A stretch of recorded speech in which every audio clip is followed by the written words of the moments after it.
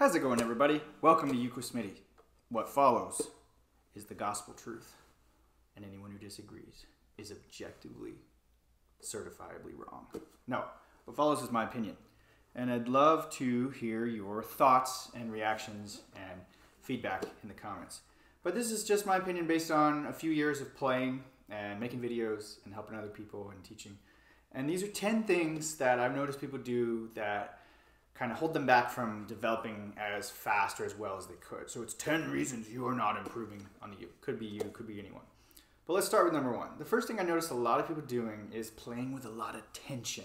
So reason number one, people aren't learning and developing and growing as fast as they can on the uke because they're playing with too much tension. They're squeezing the uke, they're fretting harder than they need to, uh, and this tension goes up their arms, into their shoulders, into their necks. It's bad all around.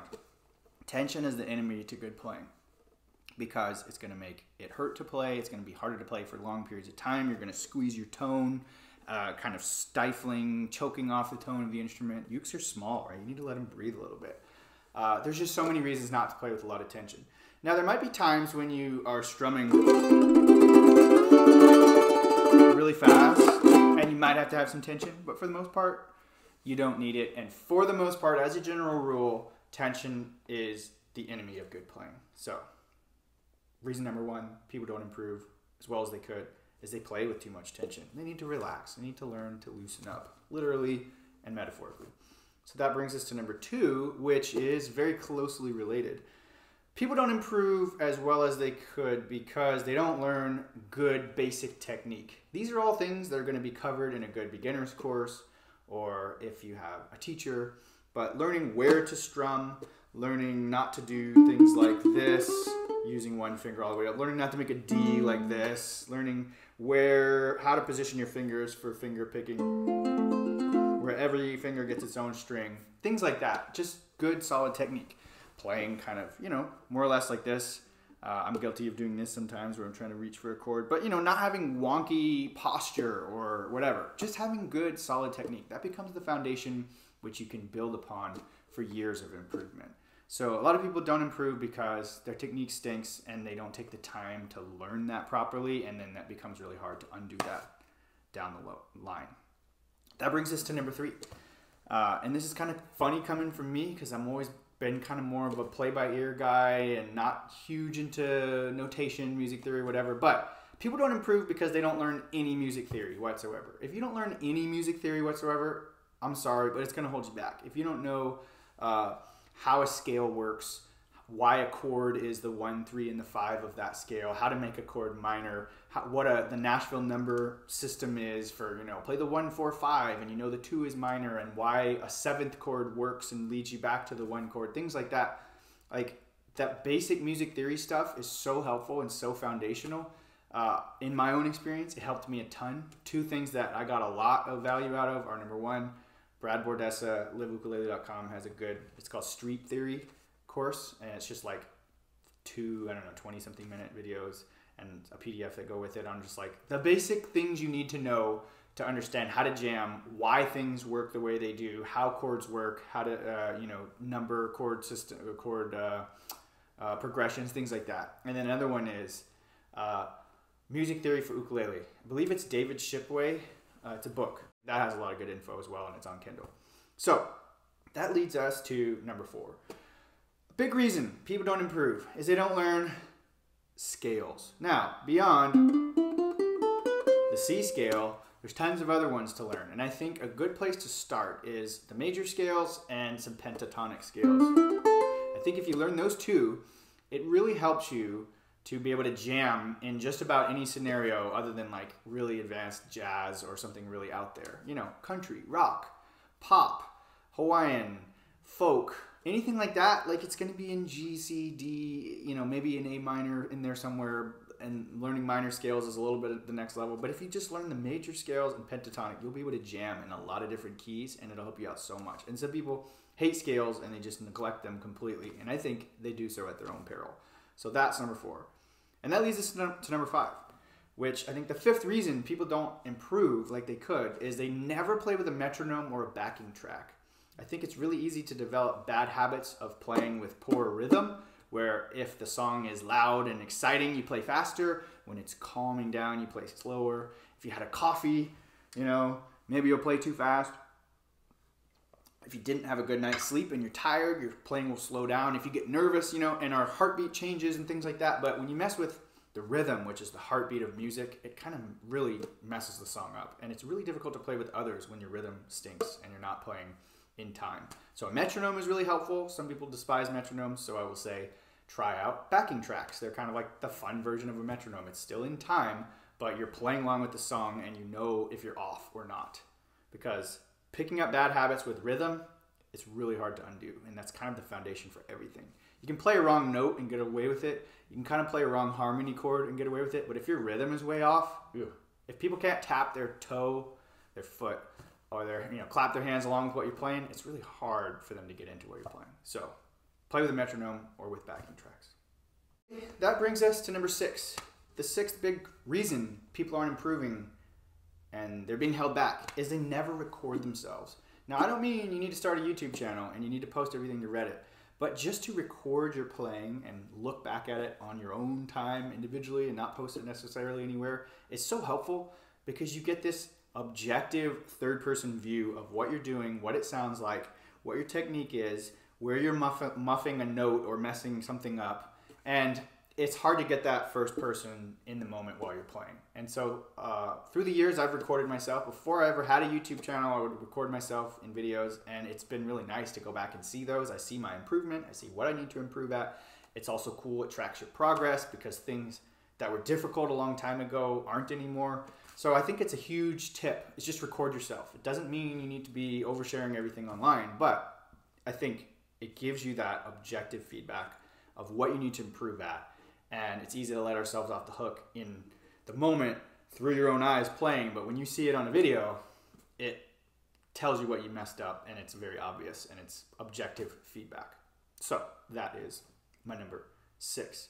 People don't improve because they never record themselves. Okay, number seven this I'm going to borrow from James Hill. He has this quote in the Ukulele Way course. Great course, recommend it by the way. And it's going to go right into this point. He says YouTube is not really a classroom. And the thing is, when you're on YouTube, and it's funny because this is a YouTube channel, but like, if they're gonna, the algorithm's gonna show you what they think you're gonna watch. It's gonna show you what's interesting. It's like a golden retriever, ball, squirrel, shiny object syndrome, right? YouTube is just gonna show you random things. And so people trying to learn on YouTube, it's like if you exclusively learn from YouTube, you might learn a song here, you might end up getting a tab there, you might get a technique there, but it just becomes so jumbled that it's not systematic. So, my seventh reason that people don't improve is they don't learn from something systematic. Pick a good course, pick a good book, get an actual teacher, get something that forces you to go from level to level. Because if you just go off random YouTube videos or whatever random tab you want to learn, you can kind of chase your tail and you don't necessarily know that you're systematically improving and you might be missing things along the way which ties back into the technique and the tension. You might be picking up bad habits that you don't know because you're not being taught in a systematic way. Now we're all doing this for fun. I hope none of us have aspirations of making millions of dollars with this thing because i don't think that's possible. Uh, it's not you know a very popular instrument in the grand scheme of things sorry. But you know it's fun. That's why we do it. It's kind of like free mental health therapy in a lot of cases. But um, you still need to have some sort of systematic improvement. And if you're only doing random things and never following a, a lesson book or a course or whatever, I think it can really hold people back because you see people that just chase their tail and they don't get any better because they're just doing random things. And I am super guilty of that. The best, the thing I got the most help from was going through the ukulele way, James Hill, or Brad Bordessa's left hand technique for ukulele or something like that because it just kind of forces you to go from stage to stage and make sure every step of the way you're improving. So that brings us to number eight. And I know I'm going to sound like your mother telling you to eat your vegetables. I won't dwell on this one because it's very self evident, but it's good to be reminded. People don't improve because they don't practice consistently. Just pick 5, 10, 15 minutes a day and practice every day or five days a week and you'll see so much better gains than if you don't pick up your uke for a month and then try to practice for a few hours or you pick it up once a week for an hour it's just that everyday little bit little bit repetition practice consistently i'm boring myself with that one because we all know it i sound like i'm nagging people don't improve because they don't practice consistently. So don't be one of those people. Practice consistently. Okay, that brings us to number nine. And this is where I'm not able to help myself because I'm a high school teacher. And so we're going to get into a little bit of learning theory, pedagogy. So there's this guy named, was this guy named Lev Vygotsky. He had this theory, the zone of proximal development, or people call it ZPD. And basically, you have these three concentric circles, like a archery target, right? The middle one is what you can already do and you've mastered it and you have no trouble with. The outer circle is something that is too far beyond what you can currently do. So that would be giving calculus to a kindergartner. But there's this middle area, which he called the zone of proximal development, which the theory is this is where the best learning occurs. It's a little bit outside of what you can already do, but it's not too challenging. It's challenging, but not too difficult. And this is learning new songs that push you a little bit getting into a new genre you've never tried before, uh, trying to do something that's a little bit beyond your comfort zone, pushing yourself to record a video and post it somewhere. It's like you're going to do a little bit better when you push yourself that a little bit outside your comfort zone. We ha- we're all guilty of kind of like doing the same chord progressions or the same scales or the same well-known songs over and over and we just fall back on that and it's like this well-worn path or this neural network but it's good to push ourselves out of that when you push yourself out of that, it forces you to learn, it forces you to improve, and it gives you this new perspective because you're uh, trying to strive towards a new goal and you're not there yet, and that's a motivation. So that leads us into our last one.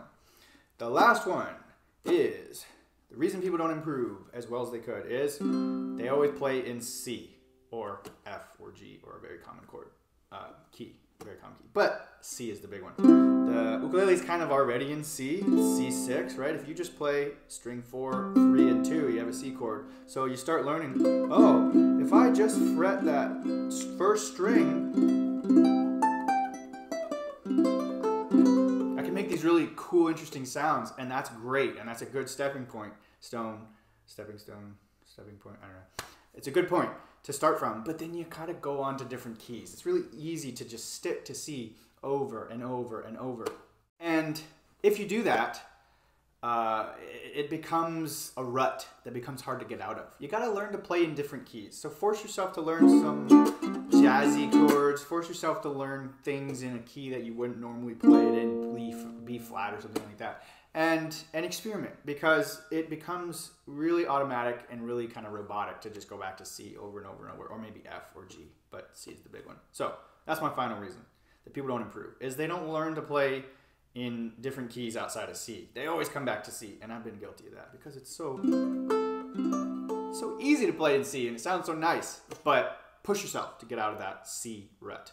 C, F, G7, C, F, G7. How many times have we played that? Try something different. Okay, so those are my 10 reasons. Um, let me know in the comments what you think. Like I said, this is the objective gospel truth. And if you disagree, you're wrong. No. Uh, I'd like to hear your thoughts and your comments. And do you agree? Do you disagree? Do you think I missed some things? Do you think I overemphasized or underemphasized some things? Let me know what you think. Uh, this is my opinion, and hopefully somebody got something out of it. Hope you guys enjoyed. If you haven't subscribed already to the channel, consider doing that. And uh, I will see you guys in the next video. Take care.